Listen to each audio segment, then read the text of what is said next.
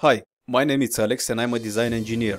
I have been working for more than 18 years with CATIA V5 in automotive engineering, racing and industrial design. All the knowledge and experience that I gained helped me work with companies like Ferrari Formula 1 team, Red Bull Racing, Jaguar Land Rover, Aston Martin and others. In this course I will show you how to design electrical harnesses for automotive companies. I will explain what is the design process for electrical harnesses and what materials and components are being used.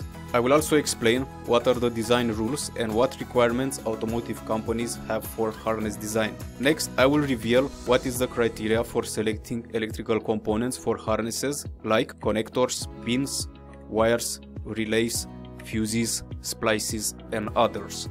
After all this theory, we will design a few CAD projects where we implement everything we learn and I will give you a few assignments and challenges. After the projects, we will make a few small projects to touch more on harness design techniques that you need to know. I design with CATIA V5, but you can design this in any other CAD software as I provide step files. In the last section of the course, we discuss about how to tailor your CV, how to conduct yourself at an interview, and how to create a portfolio and showcase your experience. With all of this said, this course is a cheat code. To be able to take chance on opportunities, you need experience. And experience is built only with practice. Thanks for watching this video and see you in the course.